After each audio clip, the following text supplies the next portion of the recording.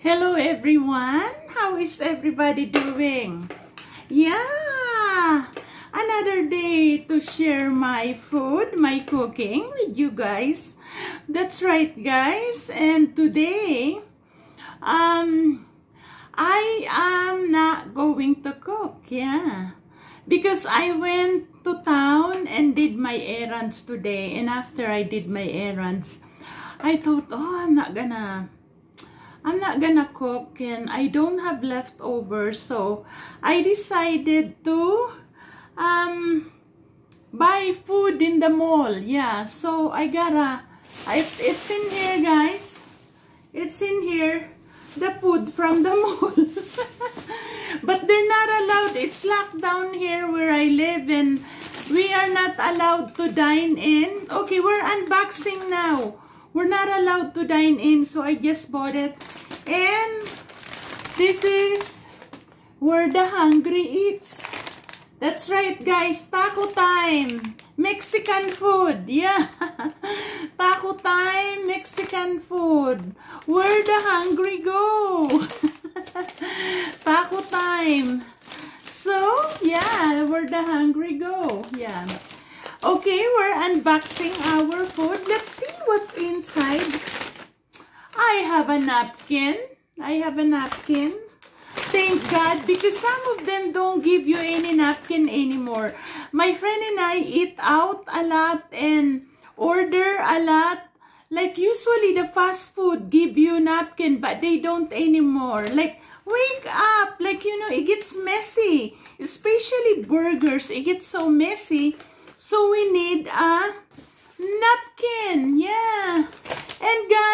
Here is fries. A little bit expensive. Yeah, the fries. But it's okay. I want fries today. I'm hungry. and I have my dips. Yeah. It's spicy dips. Yeah. And also one, I think it's a ranch, yeah. Yeah. And if I want ketchup, I have ketchup, guys. See? Wow, she did good. Some of them are so, they're not in themselves, you know, so. But I'm glad the one that, that served me were attentive today. Yeah. And she's a Filipino, by the way, guys. Yeah. And da-da-da-da-da-da da da da da da da da da da da da yeah. This is the main one. It's a beef salad guys. Yeah beef taco salad. Yeah. I figure I want my ground beef today. Yeah. I I want to to be strong. Yeah I want my I want my beef. Where is the beef that's right. Where is the beef? Yeah. So guys, that's it. That's all. Oh, by the way, I have uh, something to drink too, of course. I have to have uh, iced tea. Yeah, this is iced tea, guys. Yeah. It says here, well, maybe they do deliver. Cheers to good food and lots of napkins. Yay! Tada, tada, tada! More napkin, you know why? It's messy to eat fast food. But some of them are really, really stingy now, yeah. And um, my friend and I were talking about it. But this is taco ta this is taco Tuesday. What is that? Yeah, taco time. So I was craving for tacos. So we're Mexican today, guys. Not a Filipino. we're Mexican today. That's right, guys. Mexican.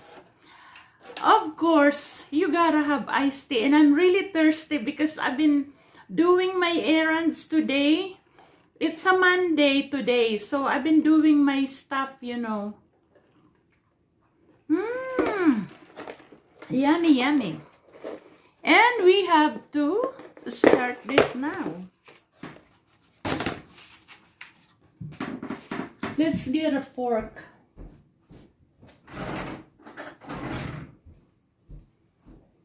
We are Mexican today, so we're not gonna be using our hands. We have to have a pork. I know, I'm sure they have a pork, but I forgot to get it. Okay, guys, let me show you the food. That's the, that's the taco. That's the taco salad. Yeah.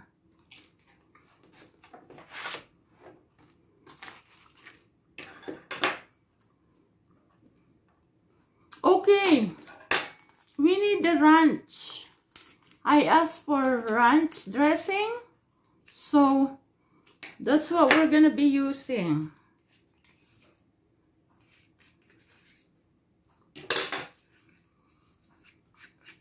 There goes the ranch, guys. The ranch dressing.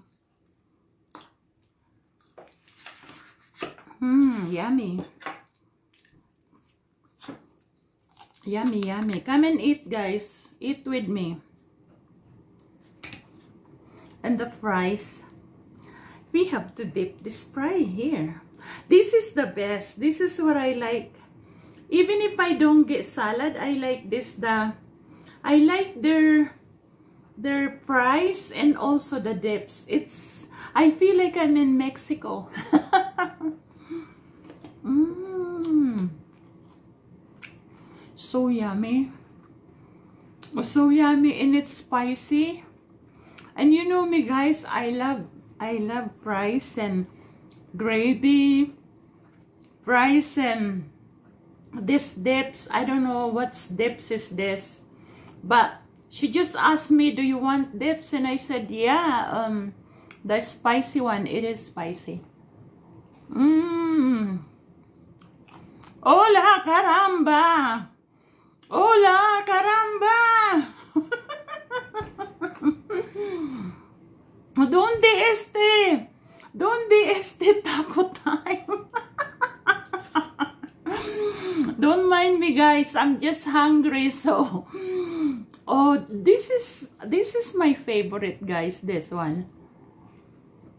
I should have just ordered this because I know I'm not gonna finish this beef taco salad. Yeah. Mmm. So yummy. So yummy, guys. This is my favorite. That's right, guys.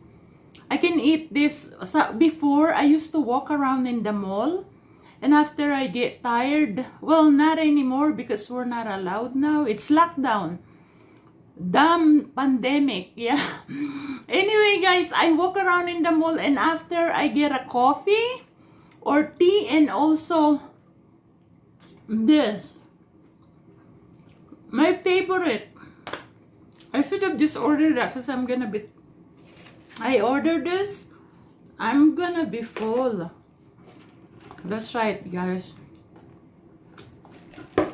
Donde este taco time? Am I, am I talking right? Is right Espanol or I'm just me? Okay guys, let's eat this salad. Mm. Salad guys. Mmm. I'm looking at the time here.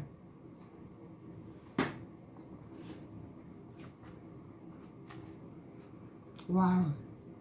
It is good. Really good. I needed this. I'm hungry.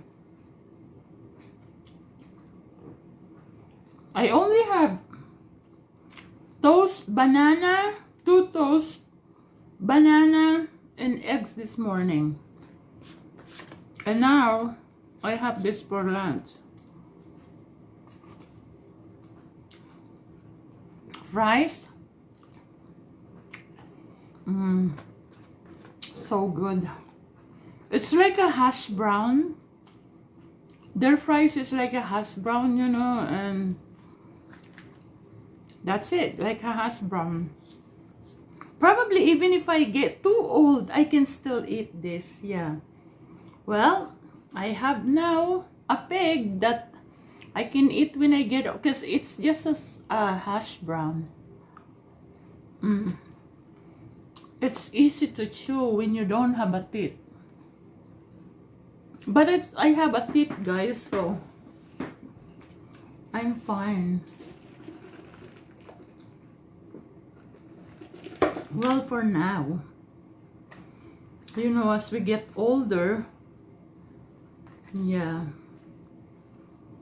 So you guys have lunch. It's actually late now for lunch. It's 1.10. Yeah. But Monday, I'm busy Monday, yeah. Mmm. So good.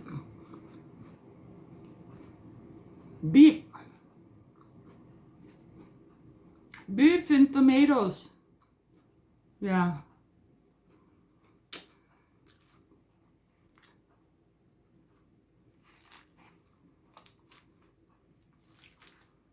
So good, guys. Beef salad. Really good.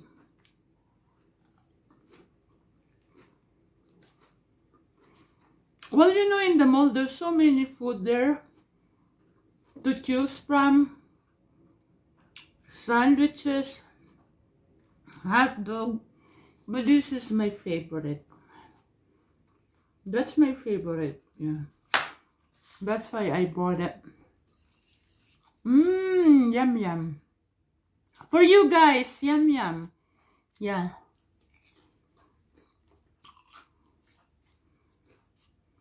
Mmm, delicioso, delicious. Anyway, guys, thank you for watching my video. Please subscribe, Maria Bicolana. Thank you. Bye-bye.